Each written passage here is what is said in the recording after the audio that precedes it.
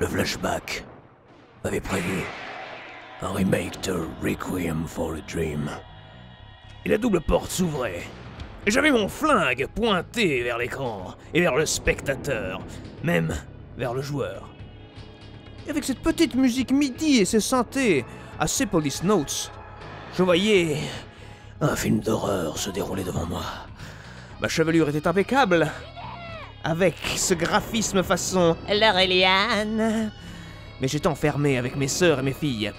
Et tandis qu'on entrecoupait les scènes vraiment filmées avec de vrais acteurs, ou plutôt de vraies actrices, avec des maquillages dignes de série B, et des scènes d'action réalisées entièrement en images 3D. Le scénario était un peu confus. Il y avait des poupées russes, et là, s'écarquillaient ces grands yeux noirs. Surgit un aigle noir. Dit gros monstre, on dit bave sur moi. Fais le morphing comme on faisait autrefois. Avec cette explosion, près dans le mille couleurs, venez oui s'embraser. Un gros d'horreur. Et l'héroïne avait la bouche en sang. Et je pense que c'est assez pêle-mêle. Et que l'ombre de la capitale du Japon, parce que ça a l'air d'être japonais comme jeu, hein, oui, oui, l'ombre du Japon et de sa capitale allait directement s'abattre sur nous. Oui, c'est l'ombre de Tokyo.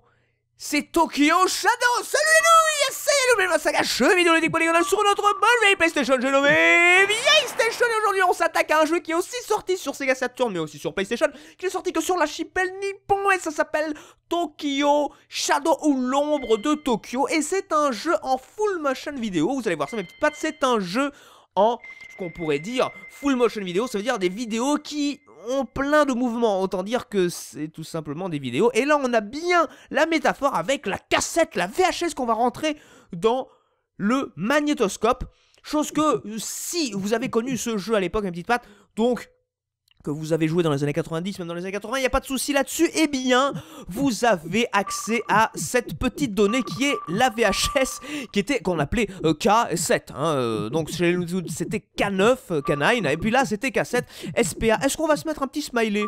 Un petit smiley, euh, je sais pas, non c'est space, je pense que c'est juste un espace, et on va appuyer sur start, c'est marqué en bas à droite, start pour finir, et c'est ce qu'on avait euh, directement ici, voilà, à la place de Shadow 1, on mettait euh, sur une petite étiquette personnalisée, là où on enregistrait les cassettes, et n'oubliez pas mes petites pattes que quand on achetait des VHS, des cassettes, eh bien, en général, il y avait un petit carré qui était cassé, eh bien on pouvait remettre euh, quelque chose, soit du papier, soit une bande de ruban adhésif, et comme ça on pouvait repiquer la cassette et réenregistrer par-dessus. C'était la bonne technique à l'époque. Et puis après est venu le DVD, ensuite le Blu-ray, mais surtout qu'on enregistre de manière numérique avec la clé USB, on repique tout ça en DivX. Enfin, vous connaissez les beaux mes petites pattes. Et voici donc Tokyo Shadow, ça va être intéressant mes petites pattes puisque c'est pas un jeu très connu hors Japon, même dans le Japon c'est pas très connu, c'est surtout connu sur Sega Saturn, donc il y a la version PlayStation qui est sortie absolument en même temps, et c'est un jeu dont je disais FMV, donc euh, point and click, on va voir ça, il y a beaucoup beaucoup de bandes annonces, c'est vraiment très bande annonce, c'est encore plus bande annonce que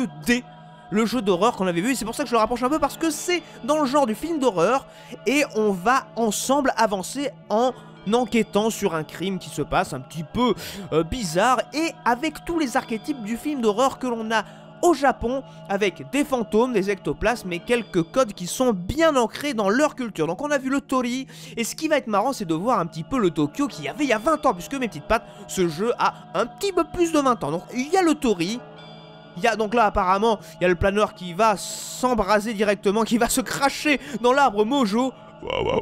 Je sais pas faire l'arbre Mojo, hein, mais vous avez compris. Et là, le flashback et tout, l'explosion, comme on avait un petit peu l'aperçu. Vous voyez, c'est en fait, c'est des sphères qui gonflent complètement puisque tout est en 3D. Il n'y a pas de particules puisque c'est quand même un moteur 3D digne de la PS1, ce qui est normal PlayStation. Mais les films sont déjà pré-rendus. Ce n'est pas du rendu en temps réel comme on a sur la plupart des jeux en 3D mes petites pattes. Donc ils auraient pu un petit peu euh, faire plus de choses au niveau résolution. Je sais pas si euh, la Sega Saturn affiche plus que la résolution qu'on a sur ce jeu euh, sur PlayStation, mais en tout cas le jeu sera en 100% japonais et il y aura tous ces codes là. Donc il y aura beaucoup de bandes annonces. On entend les voix. Donc au niveau des sous-titres, ça va être un petit peu compliqué mes petites pattes. je m'excuse d'avance, c'est clair. Nasai? Nasai? Komene, Et donc, nous avons cette petite scène. On va essayer de commenter et de voir un petit peu les différences qu'il y a entre le, Tokyo d'avant et le Tokyo de maintenant à peu près, hein, puisque votre serviteur a un petit peu l'habitude de voir ça. Et donc, nous sommes face à un drama. Alors un drama, c'est ce qu'on appelle un petit peu euh, les séries euh, asiatiques, donc parce qu'il y a aussi les séries coréennes, un petit peu chinoises aussi, mais aussi bien entendu japonaise, et alors je pense que l'acting va être incroyable. Il n'y a pas de version anglaise. On aurait pu tricher un petit peu comme dans Police Notes, qui était euh, le premier jeu de Kojima sur PlayStation. On avait eu la version anglaise, rappelez-vous une petite patte, on avait ce petit patch. D'ailleurs, je vous le conseille hein, vraiment. Si vous le voulez, n'hésitez pas à envoyer un petit message, je vous le filerai avec grand plaisir. Et là, nous avons un aquarium. Donc c'est vrai qu'il y a différentes espèces comme ça. Euh, ils aiment bien vraiment... Ben, de toute façon, le Japon c'est une île, donc forcément ils aiment bien euh, ce qui est poisson, euh, ce qui est ni bon ni mauvais. Hein, c'est comme ça, ça qu'on l'appelle. Sachant que les sushis au saumon, c'était pas vraiment la base au départ, c'était d'abord les sushis au thon. Hein, c'est vraiment le saumon norvégien qui est apparu bien après et qui est assez récent finalement euh, par rapport à la popularité qu'on lui connaît. Donc, l'inspecteur est là, il est avec son aquarium, il est vraiment dans un mode de vie solitaire. Je pense que ça plaira à euh, MR Semir 3. Et voici le fameux train japonais, on reconnaît un petit peu. Et là, nous sommes directement... Alors, c'est... C'est une diapo, hein. on est vraiment dans la jetée. Nous sommes dans la gare de Shibuya, mes petites pattes. Donc Shibuya, euh, c'est ici avec la place, avec, je pense, Hachiko. Ah ben voilà, les sous-titres commencent. Donc on appuie sur la touche, je pense, cercle, puisque c'est un jeu japonais, c'est pour valider. Donc je ne pourrai pas lire tous les sous-titres, mes petites pattes. Hein. On va essayer de se diriger comme il faut. Donc ça a l'air d'être un jeu en mode diapo, ce qui nous permet de voir les différents éléments. Donc nous sommes sur la place principale, vraiment la sortie de la gare de Shibuya. Shibuya qui est un quartier extrêmement connu, surtout pour son carrefour qui est juste devant, vers la droite. Là, vous voyez UC, qui existe toujours. Vous voyez en bas, normalement, il y a la tour Shibuya 109. Et... Euh, c'est un magasin de vêtements tout simplement. Et là, nous allons, je pense, traverser le fameux quartier de Shibuya qui est le quartier le plus dense. Voilà, 109, vous voyez Shibuya 109, ils ont eu vraiment les droits d'avoir exactement le même quartier euh, fidèle. Parce que des fois dans les jeux, on n'a pas le droit au niveau des marques et donc il y a cette image de marque qui est un petit peu biaisée. Et là dans le jeu, ils ont vraiment reproduit à 100%. Donc apparemment, je pense qu'il va y avoir un Kuroshira qui va apparaître. Nous sommes prêt à traverser le quartier. Et ce qui, est fou, c'est que dans ce carrefour-là, qui est euh, vraiment euh, le cœur touristique, on va dire ça comme ça, il y a énormément d'images qui euh, abreuvent. je crois qu'il y a même une caméra, une webcam. Hein. N'hésitez pas à checker ça sur YouTube, mes petites pattes. Une webcam qui filme en temps réel, 24h sur 24, le carrefour, le fameux carrefour, le Shibuya Crossing. Et ce qui est marrant, c'est qu'il n'y a personne qui se rentre dedans. Alors des fois, il y a les petits foufous euh, qui foncent en camionnette, mais il n'y a jamais de, jamais de dégâts. Donc apparemment, il y a une manifestation qui se fait euh, sur la place. C'est souvent un rendez-vous au niveau des jeunes, puisqu'il y a la fameuse euh, statue du chien Hachiko, qui a une très très forte, très très grande et très très forte histoire, puisque ce chien Hachiko, en fait, c'est le nom du chien, hein, et en fait, il, il attendait à la gare de Shibuya son propriétaire, son maître, et son maître est mort malheureusement, et du coup il est revenu tout de même.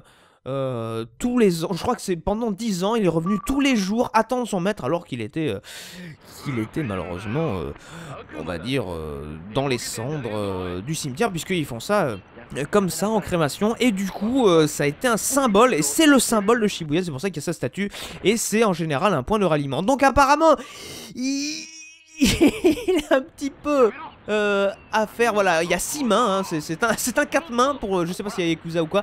Le policier arrive, qui était dans le Koban, qu'on appelle le Koban, c'est le commissariat qui est juste à côté. En général, c'est des vieux monsieur, et quand il y a un petit peu une intervention musclée comme ici, eh bien, il y a des hommes un petit peu plus jeunes, et ils appellent tous les Koban, donc tous les petits commissariats, euh, qui vous aideront notamment à retrouver votre chemin, ainsi que euh, avoir des interventions un petit peu musclées. Et ce qui est marrant, c'est qu'il y en a absolument tous les coins de rue. Donc quand il y a besoin d'une intervention, c'est assez rare. Eh bien, on calme le jeu vers ces gens, et après on les roule comme des burritos. on les roule dans un drap, et comme ça, ça les calme gentiment. Donc, nous nous dirigeons vers 109. Et là, je pensais pas voir ça sur PlayStation, mes petites pattes, mais on traverse le fameux croisement de Shibuya qui fait le cœur du quartier. Alors c'est assez calme hein, par rapport à ce qu'on a l'habitude de voir euh, 20 ans après, disons ça. Les rues sont toujours les mêmes. Normalement, il y a des... C'est vrai, la différence, c'est ce silence parfois au fond de moi, mais ça c'est différent. On remonte directement vers l'autre aspect de la station, donc de la gare. Euh, j'imagine que on va aller voir au pied de la tour 109 la dame qui est habillée en vert avec euh, son chapeau noir et sa jupe noire. Surgit une japonaise en noir. Et non, c'est signé Barbara cet épisode de Tite Et je pense que ça nous donne des indices sur investigation. Apparemment, non, elle a pas cette tract. Parce qu'il y a beaucoup de gens comme ça qui sont euh, au travail pendant 10 ou 12 heures et qui donnent leur tract comme ça. Et ça arrive des fois qu'en fin de journée, euh, ils te demandent juste Bon, vas-y, prends-le, moi je vais finir ma journée, puis après je me barre.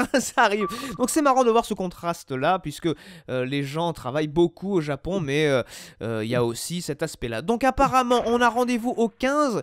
Je ne comprends absolument rien, donc on va, on va y aller au feeling, hein, finalement, mes petites pattes. Le 1, le 2. Vous inquiétez pas mes petites pattes, on a euh, nos sauvegardes par rapport à chaque action. Et là, donc finalement, les taxis sont toujours aussi luxuriants puisque les voitures au Japon sont quand même extrêmement propres, elles sont très lustrées et il n'y a pas beaucoup de klaxons. Donc ça c'est cool. Euh, ça ressemble plutôt à Shinjuku. Ah non, non, on est toujours à Shibuya mes petites pattes. Là, on rentre directement dans un izakaya puisque un izakaya c'est un un mi-bar, mi-restaurant, c'est-à-dire qu'il y a des petites consommations, et en général, on y va à plusieurs, et quand on y va à plusieurs, on ne se partage pas la note. Euh, il y en a qu'une seule personne qui va payer pour tout le monde et après c'est euh, ainsi de suite euh, à la prochaine venue tu réinvites exactement les mêmes et c'est toi qui payes etc etc donc on a suivi cette dame je sais pas pourquoi on la suit en tout cas le scénario a l'air d'être assez présent pour récolter les indices en fonction de ce qui est arrivé, un petit peu bizarre. Ce serait bien d'avoir des bandes annonces, euh, vous savez, une petite patte, des trucs qui font un petit peu flipper. comme on a eu sur D, mais c'était un petit peu plus instinctif puisqu'il y avait de la documentation, il y avait des choses comme ça. Mais là, on découvre vraiment mes petites pattes. On se délecte de Tokyo euh, sur 20 minutes pour fêter les 20 ans de Tokyo Shadow. Donc, les intentions sont assez intéressantes. Le jeu est pas trop mal hein, au niveau euh, acting aussi. Hein, le jeu d'acteur est assez sympa. Donc là, on va se laisser euh, soit la petite phrase, soit la grosse. Donc euh, on va essayer la petite, voir ce que ça donne. Je pense pas que ce soit la bonne. C'est pour ça qu'on a sauvegardé juste avant. Et du coup, ça nous permet aussi de voir. Toutes les marques sont là. Je sais pas comment ça se passe d'un point de vue droit droit des marques parce qu'elles sont exactement là. Ça a l'air d'être tourné euh, à la caméra, comme ci, comme ça. Et on rentre dans le club avec elle. Donc on accepte son invitation. C'est toujours, enfin c'est pas toujours comme ça, c'est souvent comme ça. Soit c'est à l'étage, soit c'est vraiment au sous-sol. Ce qui est marrant au sous-sol, c'est que euh, au niveau du, de compter les étages, en fait, le rez-de-chaussée, c'est déjà le premier étage. Donc euh, s'il y a un étage, ne soyez pas surprise mes petites pattes qu'il y ait un bouton 1 et un bouton 2. Heineken, il y a absolument toutes les marques. Alors c'est dommage qu'il n'y ait pas de marque euh, de bière japonaise. Je pense qu'on est dans une petite scène, un truc underground, avec notamment, normalement, des idoles. Donc euh, c'est... Euh, ces chanteuses avec ces groupes. Ouais, c'est ça, mais aussi les chanteurs. Ils sont déchaînés, petites pattes, avec le drapeau sudiste, tout va bien. Donc en fait, ce qui est marrant, c'est que dans la culture nippone, en fait, à, dès 45, dès 1945, il y a des symboles que euh, pour nous ça fait vraiment bizarre, genre euh, les uniformes nazis, la, la, croix sudiste, mais pour eux ils sont euh, pratiquement totalement détachés. Après, euh, avec le recul, ils jouent de ça. Il y en a certains qui sont vraiment très très très borderline, qui sont vraiment euh, à jouer avec la limite des codes. Mais euh, à l'origine, il y a certains codes qui s'approprient, un petit peu comme le christianisme pour certains. Le christianisme a existé au Japon, hein, c'est pas, le, pas le souci. Mais la plupart sont soit shintoïstes, soit bouddhistes, donc c'est des religions qui n'ont absolument rien à voir avec ça. Et du coup, ils s'approprient juste par graphisme en fait. Il y a cette esthétique là. Et c'est pour ça que des fois, c'est ça appartient, les trucs gothiques, a des trucs complètement très très très chaud pour nous et en fait pour eux ils il l'approprient juste en tant que graphisme intéressant. Voilà, donc euh, c'est pour ça que des fois il y a certains artistes qui s'approprient des symboles très très forts pour nous, euh, occidentaux européens, et pour eux ils ont pas du tout, ils ont complètement un détachement euh, très très loin euh, par rapport à ce que nous on connaît, qu'on a soit subi, soit qu'on connaît. Donc euh, c'est vrai que des fois c'est intéressant de voir ce truc, de, comprendre un petit peu les différences euh, culturelles, et de par le monde, hein, que ce soit en Afrique également. Alors là il y a du sang sur le coup, puisqu'ils étaient très très bien habillés, très très bien sapés. mais là apparemment ça, ça, ça, tourne boudin, ça tourne vinaigre, donc apparemment doit y avoir un meurtre. Il y, a eu, il y a eu un coup de couteau qui a été lancé, donc c'est pas un jeu pour tout public, hein, mes petites pattes déjà, par rapport à la prise d'indices des choses comme ça, mais surtout que c'est un thème d'horreur. Donc euh, c'est pas mettre dans toutes les mains mes petites pattes, ça c'est sûr. Donc je pense que là, on a atterri face à quelque chose, ben, un guet-apens, hein, disons ça. Et euh, il y a du sang sur le mur. Apparemment, on a été kidnappé. Et là, les choses deviennent extrêmement intéressantes. Où c'est que je suis? Je pense que c'est ce qu'il est en train de dire.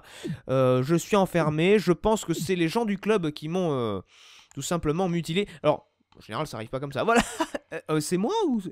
Donc, apparemment, la personne qui est habillée en rouge, là, qui a une veste rouge, fait comme Jean Reno dans Subway. Et comme tous les personnes, tous ceux qui font de la batterie, euh, on n'arrête pas de taper. Voilà, euh, dès qu'il y a un truc, tac, tac, tac, tac, ça tape. euh, Est-ce que c'est pas pour perdre la main?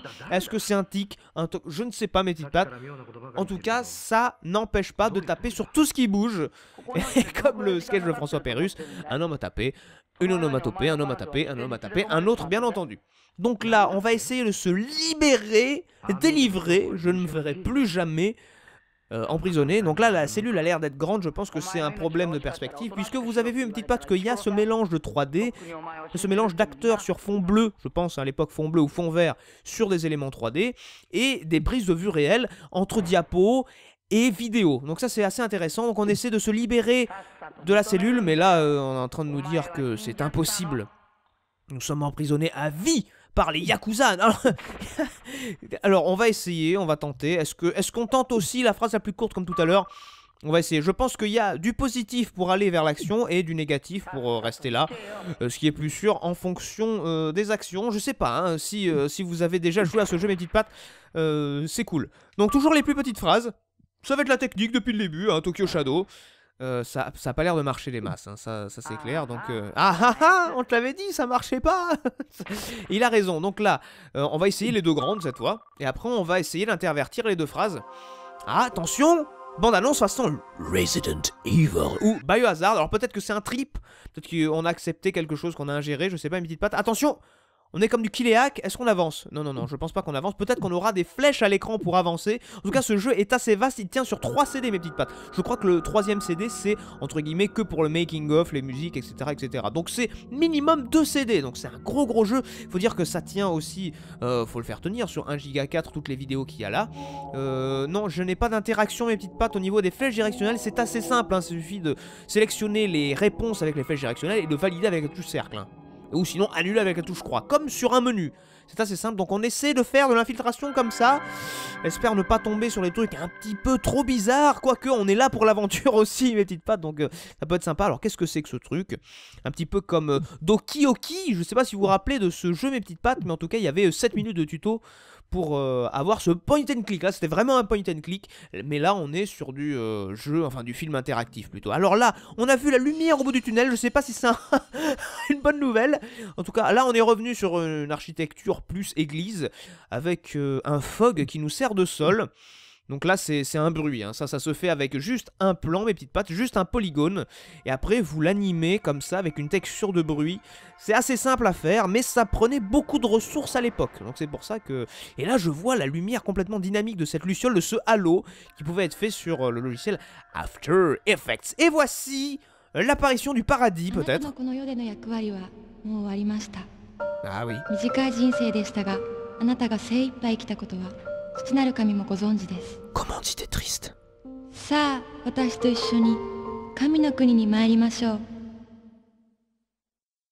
Alors, est-ce qu'on lui prend la main? Et on se prend la main Alors là, ça risque d'être assez fatal. Est-ce qu'on... Alors là, ça veut dire je ne veux pas de toi, je pense, avec le, avec le point d'exclamation. Euh, Il n'y a que des points de... Bon, on va prendre ça, on va être solennel. Et on va voir ce que ça donne. Et après, on reviendra sur cette phrase juste pour voir toutes les animations. Parce que là, on est quand même sur un seuil critique. C'est-à-dire, je pense que on est complètement dans les vapes. On est peut-être dans un état second. On sait pas vraiment, puisque apparemment, ce serait barré. Mais euh, on est face à une apparition dans un truc assez divin. Donc euh, je pense que ce qui est bien, c'est que le thème qu'on abordait tout à l'heure, ben là, c'est on est complètement dedans. Et là, on est face à un mist. Et là, on rentre directement dans les vitraux, hein, euh, directement, qui n'est pas une marque de jeans, hein, mes petites pattes, hein, les vitraux. Il faudrait rajouter des S, donc peut-être qu'avec le cheveu sur la langue, les vitraux, les vitraux, il y, a- ça. Et là, vue aérienne sur Tokyo de nuit, on est complètement dans les airs. Alors, est-ce qu'on est dans un hélicoptère ou est-ce que vraiment on est sur une ascension, une élévation, une révélation? Et c'est la fin. Voilà. Bah, euh, c'est une fin, mes petites pattes. Je pense pas que ce soit la fin du jeu. En tout cas, c'est une des fins que Tokyo Shadow vous propose, mes petites pattes. Bah, j'espère que ça vous aura plu. En tout cas, c'est extrêmement intéressant. Le truc, c'est que c'est pas abordable pour quelqu'un qui ne parle pas. euh, voilà, il vaut mieux parler japonais euh, pour ce genre de jeu. Il y a que ça qui est marqué en anglais. Bon, ben voilà. Donc, c'est la fin et c'est une autre histoire. Je vous laisse là-dessus, mes petites pattes. J'espère que ça vous aura plu. Je vous dis maintenant pour certains, je vous dis à la prochaine pour d'autres. Et pour tout le monde, je vous dis ciao